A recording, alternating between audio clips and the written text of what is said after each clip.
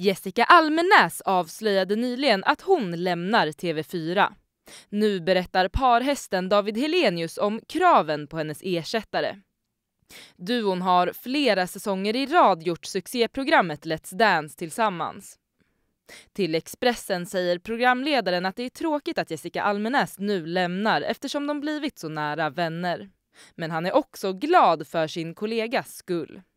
Och själv har David Helenius inga planer på att gå i Almenäs fotspår och lämna kanalen. Vem som ersätter henne i Let's Dance är fortfarande oklart. Men Helenius har höga krav på sin nya programledarpartner. Han säger att man nu ska ha möten och spåna för att hitta någon som verkligen kan fylla platsen.